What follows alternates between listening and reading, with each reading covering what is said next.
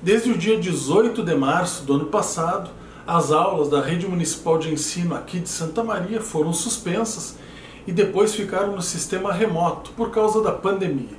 Nesse período, a comunidade escolar teve várias angústias e desafios. O último capítulo dessa história foi o decreto do governador do Rio Grande do Sul que renovou a vigência da bandeira preta em todo o estado até o dia 21 de março.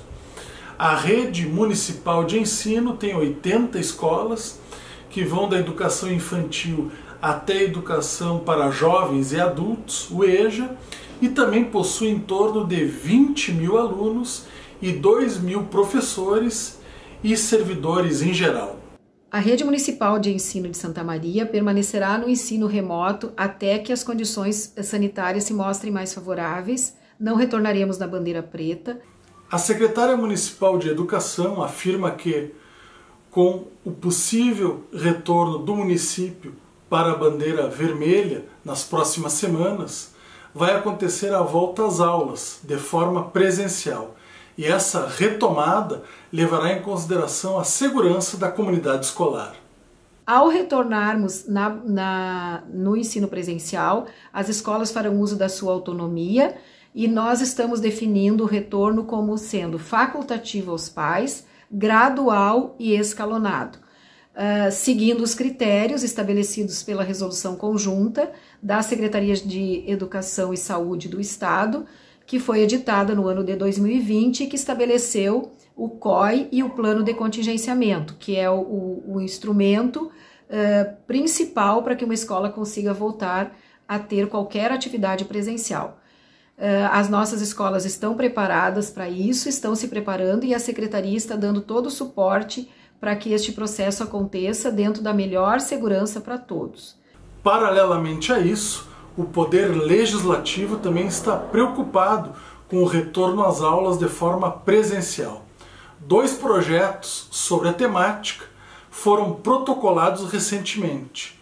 A primeira matéria estabelece prioridade de vacinação contra a Covid-19 aos professores e funcionários da educação pública municipal, estadual e privada, que encontram-se em contato direto com alunos. Esse projeto está tramitando em regime de urgência.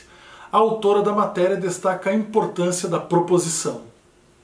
Por que da importância? Porque é a única maneira que temos de poder retornar com segurança às aulas presenciais. Sabemos da importância deste retorno, mas precisamos estar protegidos, tanto os educadores, os trabalhadores, como os alunos e, consequentemente, a família desses alunos. Por isso, da importância do projeto da vacinação para todos aqueles envolvidos na educação.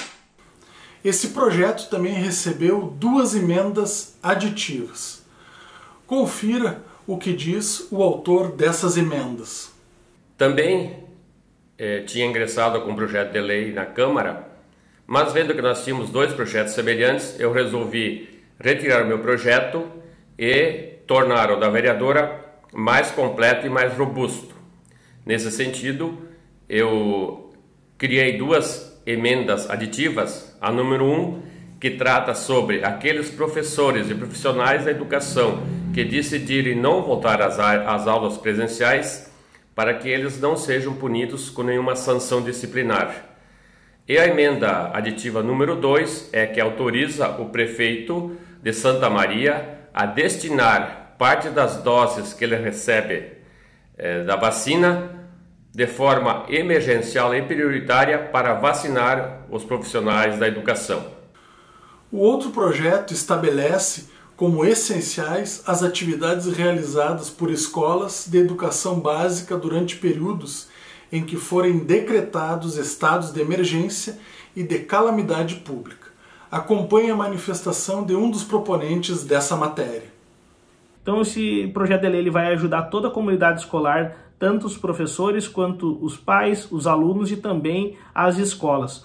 Eh, dando a autonomia para cada instituição de ensino retornar da maneira que achar mais segura, tanto presencial quanto híbrido ou também de maneira remota.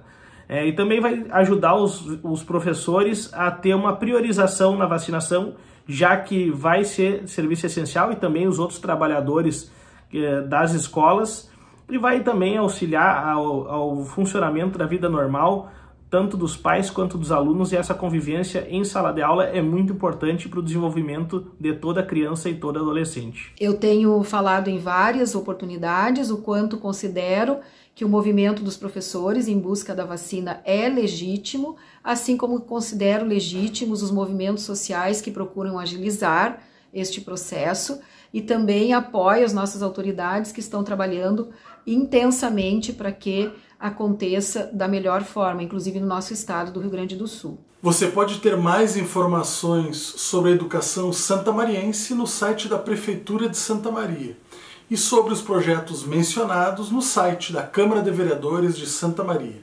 TV Câmara, a tela da cidadania.